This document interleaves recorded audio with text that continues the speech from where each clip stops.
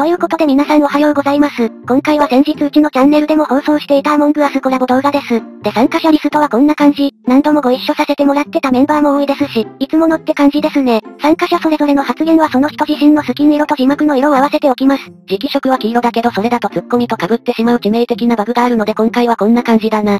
それじゃあゲーム開始前にアモングアスのルールを超要約して説明。このゲームはいわゆる人狼ゲームで、1、2人のインポスターと残りすべての1000円に役職が分けられ、インポスターは1000円を切るか投票による追放で減らし、1000円と同数になればインポスターの勝ち。逆に1000円側は同数になる前にインポスターをすべて追放すれば勝利。他にも1000円に割り振られるタスクを全円がすべて完了するタスク勝利や、サボタージュという妨害工作によるインポスターの場合も勝利もある。他にもベントとかマップ特有の設備があるんですが、まあそこまで説明してると時間かかっちゃうためそこら辺は概要欄に適当に書いておくので気になる人は読んでみてください。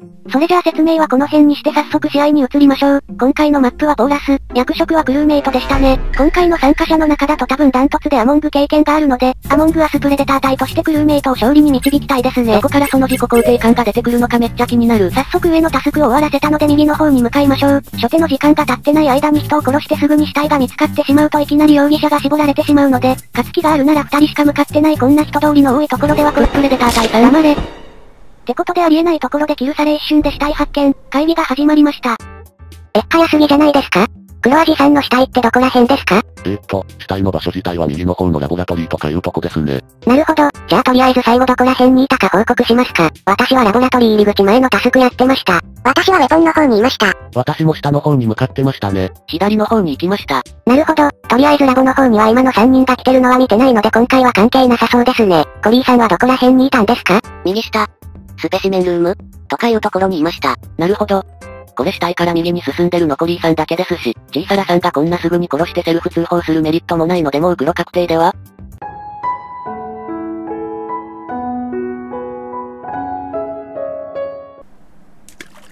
なんだろう、めちゃくちゃなキルするのやめてもらってもいいですか？ということでインポスターは全て排除され、クルーメイト側の勝利になりました。GG です。総理メッセやめろ。とまあゲーム自体はこんな感じで、インポスターはうまく死体が見つからないようにアリバイを作りながらキルし、船員側はできるだけ早く死体を発見して容疑者を絞っていくのが勝利の鍵となりますね。過去即落ちプレデター隊の発言。黙れ。ってことで切り替えて第2試合に行ってみましょう。ということで第2試合開始。今回は録画ミスで試合開始シーン撮れてませんが、名前が白なのでさっきと同じクルーメイト側ですね。さっきのマッチは即死してまともに立ち回りについて語れませんでしたが、今回はしっかりと推理しながらゲームしましょう。クルーメイトとして犯人を推理するために必要なのは、どこを誰がどのタイミングで移動してたか、誰が誰と行動してたかを覚えておくといつかきっと役に立つはず。知らんけど。急に説得力なくなったな。例えば今のタイミングだったら緑と水色。これで後から確認して片方が死んでいれば残ってる方がほぼ黒にできるから、容疑者をいきなり絞り込めるって感じだだね。今回のマッチは7人中1人がインポスターで、1人目のキルの時点で報告者のセルフとその人の2択にできれば、まともにやってれば船員側はその時点でほぼ勝ち。誰とは言わないですけどインポスターはさっきのあいつのようにバカみたいに積むので、口悪いじゃん。やっぱ情報は大事だねってことです。バイタルで死んでるかどうか確認してみたけど、さっき右下に向かった2人はどっちも死んでませんね残念。残念がるな。とりあえずこの画面の警報みたいなのはサボタージュなので解除に向かいましょう。右側は先に水蒸気さんが入ってましたね。そこにポランさんも行こうとしてるみたい。じゃあ誰も行ってない左に、と思ったけど小さらさんがやってくれてたみたい。一応キルされてもすぐに見つけてもらえるとこまで逃げとくか。あれからまたしばらく経って今度は停電が発生。船員側の視界がかなり狭くなってインポスター側はキルがしやすくなるね。視界が狭くなることで犯行現場が目撃されにくくなり、行動も把握しづらくてアリバイ作りに最適なサボタージュだから多分このタイミングで人が死ぬはず。とか言ってたら停電が治ったタイミングで緊急ボタンで会議が始まったな。暗くなったので停電開けてすぐ押してみたんですけど水蒸気3死んでますね。マジっすか確か水蒸気3リアクターのサボタージュの時に右の方直してたの見てるんですよね。そしてそこに突っ込んでクポランさんも見てます。いましたね。右上のとこで一緒になりました。それで今回って緊急ボタンでの会議なので死体の位置がわからないんですが、最後に水蒸気さんを見たのがそのリアクターの場所で、そこがめちゃくちゃキルしやすい場所なんですよ。もしサボタージュ後に水蒸気さんを見た人が誰もいないのであれば、右上で二人っきりになってたポランさんが一番怪しいと思います。ちょっと待ってください。水蒸気さんに最後に会ったってだけで釣るのは危ないです。確かに確証はないんですけど、サボタージュ後に見た人がいないのであればほぼ確定だと思うんですが、他に水蒸気さんを見た人っていませんか？見てません。見てないですね。見てないです。情報なくてよくわからないんですけどポランさんが黒いんですか？まあみんな見てないみたいなのでそうだと思うんですけど、ポランさん自身は水蒸気さんがどっちの方に行ったとかって話せたりしないんですか？いやおじいちゃんなのでちょっと覚えてないですが、私は左の方に向かいましたね。うーん、やっぱり死体見つかってないと完璧に誰が犯人か絞るのは難しいので、とりあえず右上でのキルで怪しいポランさんと、停電中のキルからのボタン押しで死体を消した可能性があるカブさんの、二人でくっついて行動してもらってもいいですか？オッケーです。はい。一応周りの人もこの二人には気をつけてもらって、一緒にいるとこに近づかないようお願いします。っ了解です。それじゃあスキップしますか。てことで会議は終了しました。死体自体がどこにあるかわからないので確定黒ってことにまではできませんでしたが、サボタージュ以降に水蒸気さんを見てるって人が名乗り出ないのはおかしいし、まあ右上で死んでたんだと思うんだけどな。あのさ、ちょっと会議中に話割っちゃうのがあれだったから突っ込まなかったんだけど。お前普通に水蒸気さん見てたぞ。なんだよそれ記憶にございません。あとお前ついでにこの後バイタル確認してたぞ。え、ちょっとこの事実を忘れてさっきの推理を白陣営なのにしてるってのが外に漏れたら、マジで大先輩になっちゃうから徹底的に隠蔽しよう。手遅れ。まあこの事実に気づいたのは編集中だが、一応水蒸気さんがサボタージュ後に生きてるとなるとポランさんも黒候補からは外れる。その事実を踏まえて水蒸気さんの目撃情報を喋らなかったのも考えるとコリーさん、そして死体消した可能性があるカブさんの二人に絞れるんじゃないかな。でまあコリーさんにそんな器用なことできるとは思えないので実質カブさん一択。まあここら辺は後出しじゃんけんなんだけど、カブさんにはポランさんがくっついてるから次のキルで死体即発見でローラー開始できるはず。今から一人減っても5人の状態でカブさんポランさん順番にすれば千円側の勝利は確実。やっぱプレデター隊の推理ってすごいね。まだ言ってんのかよそれダーウィンの結果論やめろ。あっこの後積む予定のカブさんだ。オスオス。案の定殺されたけどポランさんが死体見つけてくれて即ローラー開始で勝ちか。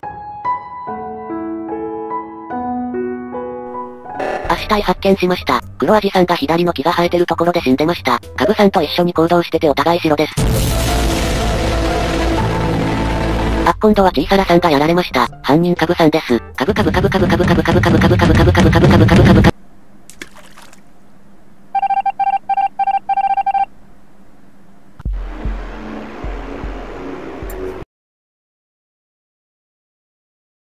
なんだったんだろう今の試合。お前が水蒸気さん見たの覚えてなかったのが悪い。ロジハラやめてください。ってことでマップを変えて最終戦、最後の最後でインポスター引けたけどこのマップほとんどやったことないんだよな。まあとりあえず7人だと初手にキルはしないと後でタスク進行がきつくなるから、停電起こしてしれっと初期地点に戻ってまず一人軽快な BGM でいきなり殺すな。ここならすぐに引き返す人がいなければ、まず一人で来るはずだから発見者のセルフの線にも行けるし、そもそもここはなかなか見つからない。ってことで上のエリアでしれっと合流、最後に合流することにならなかったのもアリバイ的には結構いい感じ。正直ここに合流したタイミングで誰かしら見つけてくれればいいんだけど、誰も見つけなさそうだしもう一人孤立してる人いるからパパッと2キル目行きますかね。ただ二人目やってすぐ報告入るとまずいから停電起こしてしれっとベントで向かいましょう。このマップのベント移動はマップ中どっからどこへでも行けるのも結構便利で、こんな感じで端っこまで行ってサクッとやれていいね。とりあえず彼は今 YouTube が順調なので消えてもらって、急いでみんなのところに戻りましょう。調子乗りすぎだろそのうち足元救われるぞ。ほら言わんこっちゃない。ああやってベントで戻るのカフェの方が良かったか。アドミンで動かない人がいたので確認しに行ったらポランさんの死体がありました。そしてもう一人アイザックさんが死んじゃってるんですが、多分そっちの場所はリアクターの方だと思います。なるほど、死体位置は大体そこら辺だとして、とりあえずおのおのアリバイの話でもしますか。私はなんかグリーンハウス？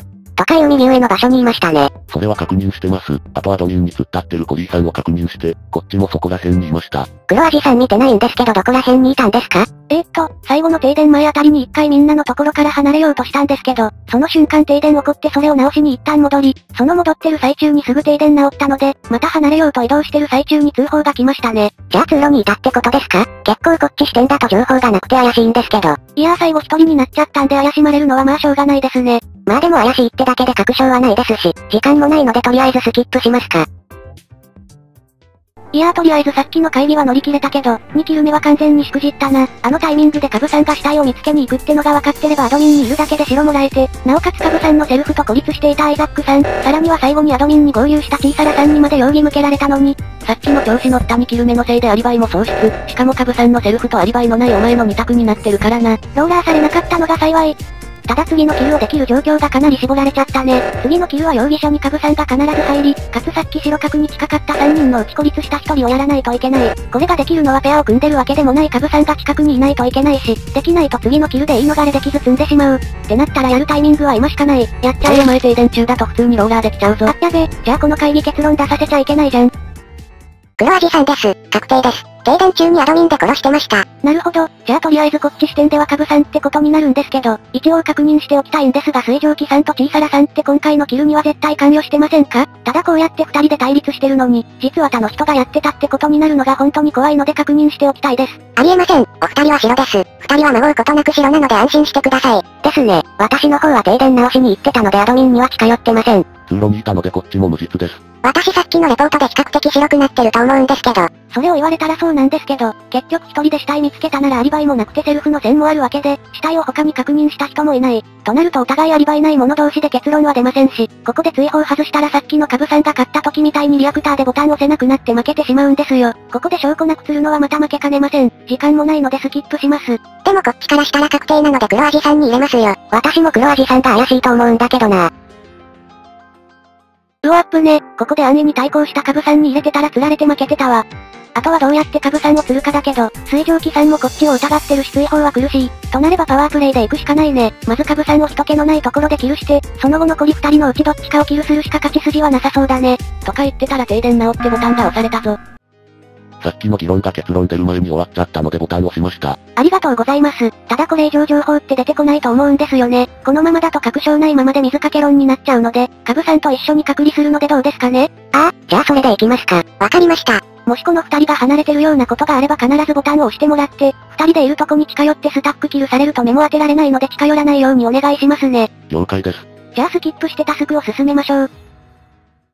ってことで会議を乗り切りました。いやー2キル目でしくじった時はやばいかと思いましたけどなんとか勝てましたね。まだ勝ってねえだろ。いやーもうこのペアでいけた時点で勝ち確だよ。ほらこっちにタスクあるからついてきてくださいねー。消えなさい衝撃の一言に一同驚愕。リアクターの暴走が止まらない。ってことで白角二人はリアクターを直したみたいです。だけどもうこっちはクールタイムが終わっていつでもキルできる。来た、消えなさい。